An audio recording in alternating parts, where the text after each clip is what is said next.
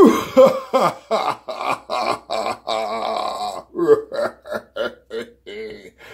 what's up, everybody? So today, or last night, I passed the 8,000 subscriber mark, so I just want to say thanks, everybody, and it's, it's just friggin' wicked.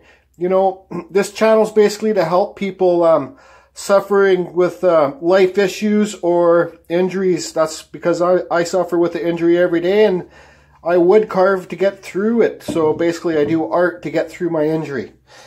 Anyways, this morning I was at the Mad Scientist house. We had a couple things we had to talk about. Pete's house. And um, I wasn't too sure what I wanted to carve today. I've been busy the last week doing what normal people do. Like uh, normal stuff like AKA work. I've, I've had to go to work. So I haven't been carving much in the last week, but I, I was unsure what I wanted to carve today. I could always carve wood spirits, you know what I mean? Like, that's what this channel's based on, you know what I mean? But, and mix them up. So, this is a piece of spalted maple he gave me. Okay, because I told him, I says, I'm, un, I'm unsure what I want to carve today. See the spalt in there?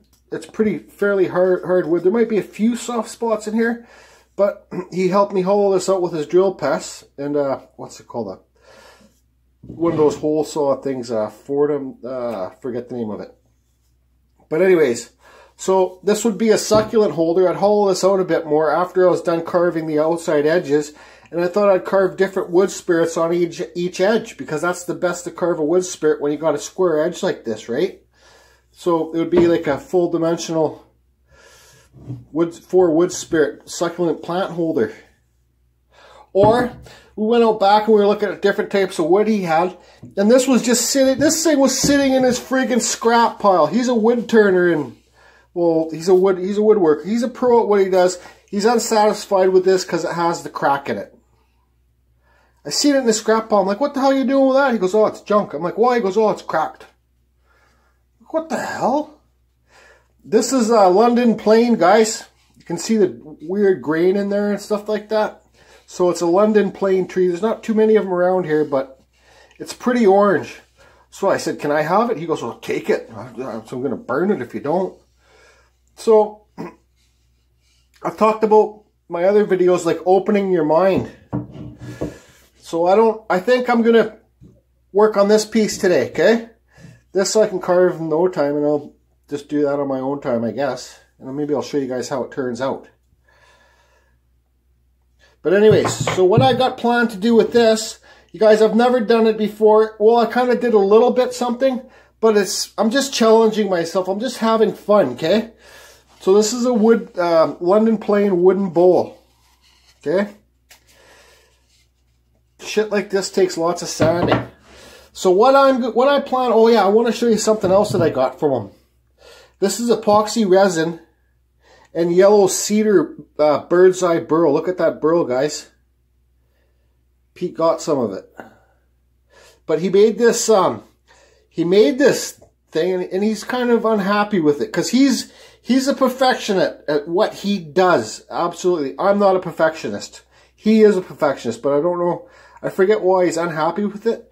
But if you look in there, it looks like a goddamn ocean scene. You see the bubbles? That's, I think, maybe why he's happy with it, because see that white stuff in there, deep in there? It looks like a coral reef, but it's those are bubbles. But it's like a big bubbles. They're like air pockets. But I, I can't get my mind off this, and I freely, I, I got it from him. Because I love looking at it. It's just so, it's just so, I don't know, majestic looking. It's just so cool to me if you guys can really see inside there. It looks like a coral reef in there, and then the, the waves inside are just like rapid current going past the reefs and stuff. So yeah, look at that. And that's just got a little, it's epoxy resin, it's got a little bit of blue tint in it. But it reminds me of an ocean scene, and I just love it. You know, this is this is probably one of my favorite pieces I have now to look at. To kind of open your mind, right? See inside there? Isn't that cool? I think it's fucking wicked. So anyways, what I'm going to do with this bowl, what I'm going to try and do, I got um, some dollar store epoxy here, okay? I got like four packs of this stuff. Well, this stuff's like a buck fifty each, okay? Um, what I'm going to do is I'm going to draw some lines down here, okay? Like, um, just like sporadic lines around here and maybe swirl it in the middle. I'm going to use my Kutzall bit. This is quarter inch. No, sorry, one eighth. Kutzall Extreme. It's a pretty new burr. Zoom in. See how aggressive these are, guys? Did see it. And it's on my Dremel. I'm trying my 4300 again. Uh, Mad Scientist fixed it for me. So let's see how it works. And what I'm going to do is I'm going to cut some deep rivets in here. Okay? Along here, whatever. Just cut some lines. Kind of make it look like water's flowing into the bowl. I don't know if this is going to turn out, guys. You know what I mean? And if it doesn't turn out, I'm still going to make this video anyways. I'm just showing you kind of like open how to open your mind. And lots of my carvings in my last videos haven't turned out like so, but whatever. I'll still be able to sell them. That's for sure. So what I'm going to do is I'm going to draw the lines in here, right? How I want it to come down. Like I'm going to try and make them flow like S lines. S lines are important, guys. You know what I mean? S lines. Long stretchy S's, short S's, all S lines. If you look at everything, it, S lines are in everything, and they're very important when it comes to art. Uh, I've been told that by a well-known tattoo artist in town here. So anyways, I'll draw these lines on, and then I'll cut the the rip the ditches with this, and then this epoxy is going to be hard to put in here because it's not a flat surface, right? So when I pour the epoxy into my cut lines, it's going to want to run down. You know what I mean? And then pile up at the bottom. So I think I'm going to have to, this is why I say I'm not sure if it's going to work. I'm going to have to pour the epoxy and kind of just keep it level in there, right? But when it's drying, it's going to overlap each other. So who knows? Let's just fucking try it, see if it turns out. If it doesn't, oh well. What have I lost? A couple hours? But I've enjoyed doing it anyway. So let me get set up here, guys. Right on.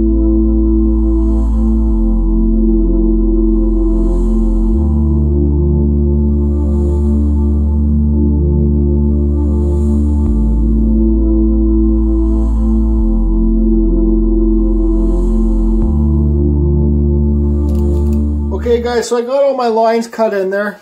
Not that deep. I want to make them, I don't know how this is going to work. I don't friggin' know it's to work. Anyways, so that was like, I don't know, five, this London, that was like five minutes carving, 10 minutes. This London plane's pretty hard stuff. I guess I should ask the mad scientist if it's hard or soft, but it's fairly hard. So what I'm to do is I'm to put this aluminum cutter into my um, Foredom uh, industrial flex shaft, okay? And I'm gonna go, I'm gonna clean up the lines with this aluminum cutter, okay? You guys, this is, I, all my burrs are Kutzalls that I use, like this type for wood carving. And uh, you can, you can follow the link below in the description below and use the code CFusion if you want to get yourself a Kutzall bit. These bits last a long time, guys, but I'm going to take this out and I'm going to put this in and I'm going to clean up all the lines, hopefully, using this. If it works out!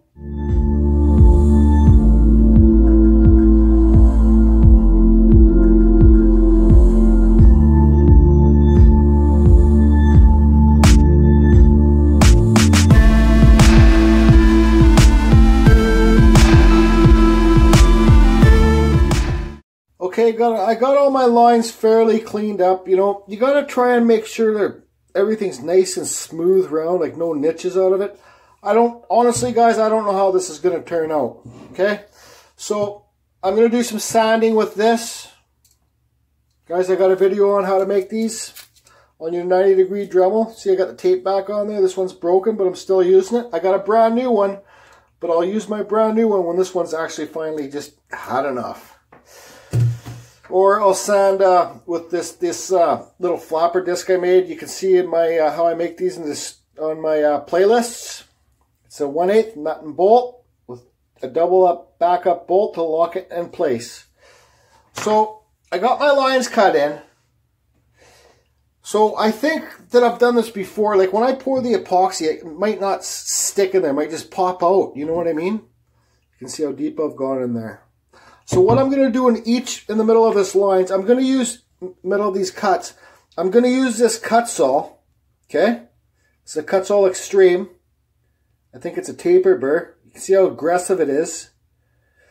and I'm going to go in the middle of my lines and I'm going to carve a deeper channel. Okay? And I'm not going to clean that up, hoping that when I use this, it creates fuzzy hairs and a little deeper channel. So when I pour the epoxy in there, it will stick to the little fuzzies. I might sand it out a little bit, but it will stick to the fuzzies and not have a reason to pop out when it's dry. I don't know. I'm just making this up. What the hell?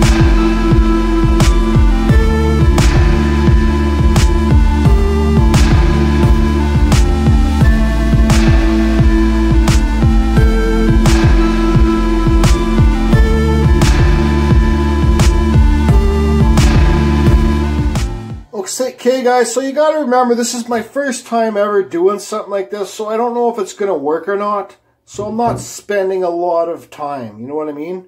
Like this wasn't the mad scientist perfect bowl that he made for me to carve. It was a piece of his junk that he didn't want, you know. So all you can do is hope it works out. So I got all that stuff carved out there. Okay. It's cleaned up as much as I want for now. Um, so what I'm going to do is, what's going to make or break this piece is when I pour the epoxy, if I can get it to sit in these channels, because you know, like like I said before, it's going to want to run down there. So I'm going to have to hold this bowl when it's poured in, be like, and it's going to start overlapping and underlapping because I'm going to be moving it back and forth and like this, right? So who knows? All you can do is hope. I guess all you have is hope. Hope, hope, hope.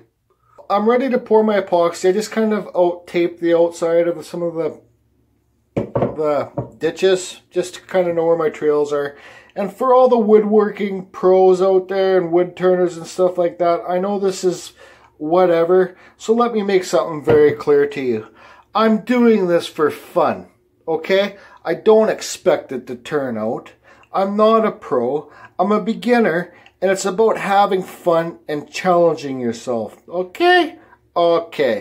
And also, I'm going to be hitting the epoxy with this little torch. Just keep the flame like that far away from it and that gets the bubbles out of the epoxy. Oh, and make it a real quick pass. Ah.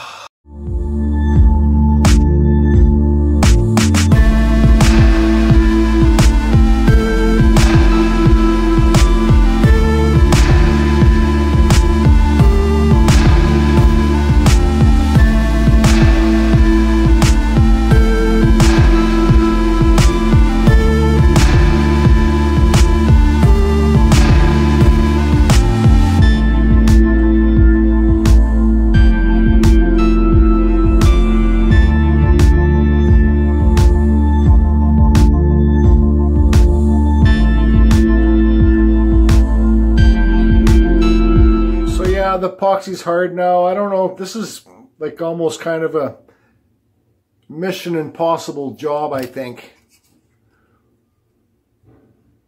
Yeah, so I don't know, man. Fuck. Ah. Okay, so you can see here, I got all the epoxy poured in. It was a pain in the ass. It was a pain in the ass to try and make it stick above. Like, uh, I could have made little walls along the side with tape or whatever, but whatever. I don't really care. So it looks like a big pile of blue crap right now. You can see my first pour there. I poured way too much epoxy. Because it just went all over the place, this one here. And after that, I kind of toned it down a bit. So yeah, you can see the big pile of blue smurf poo there. Right here. But whatever. So they call it five minute epoxy. It it cure it heals in five minutes or whatever you want to say, but it doesn't truly. It's still kind of soft. I can dig my finger into it. So I'm gonna let this sit for a day or two till it gets solid. Hopefully it does. It's dollar store stuff, but uh, and then I'll uh, carve carve it flat and sand it and see what see how it looks. You got to remember when this stuff was like for here example when it was curing I had to hold it like this and roll it back and forth. You know, so it would go up and down. The pool would go up and down, up and down. So it's overlapped each other quite a bit. So, but I don't know. All we can do is wait and see what it looks like when it's done uh, Being worked on, okay? Being worked on. So this goddamn bowl, I should have really like uh, doubled up my lines and spaced them proper because you can see that they're, it just looks like a piece of crap. So instead I started working on this guy. Oh yeah. Do what you're good at, people. See, I was not happy with the way this turned out, so I just started working on this. Um, at all that spalt in there. Thanks for this piece of wood, Pete. It's beautiful. But uh, I think tomorrow I'm going to cut in the beard hairs and connect them all. Everything. See how I got the mustaches? They're spiraling around. All going that way. I'll make the same with the beard hairs all the way around. Succulent plant holder. Shitty two-year-old made bowl kind of thing. Looked better just when it was the bowl. I got told to turf the bowl. So I'm turfing the bowl. Goddamn bowl.